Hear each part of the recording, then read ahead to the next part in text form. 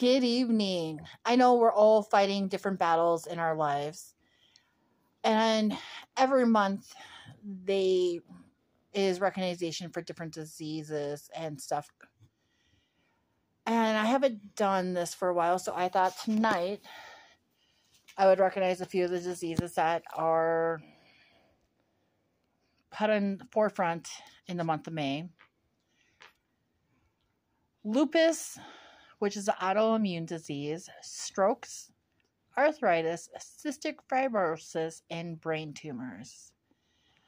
I pray for all families that have a loved one that's dealing with any of these diseases.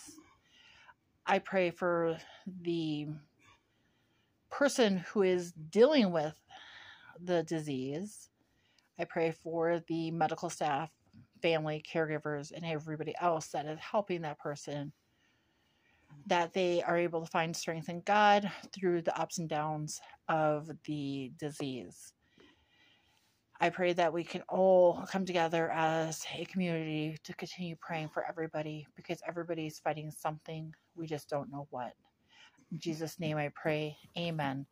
God bless everyone.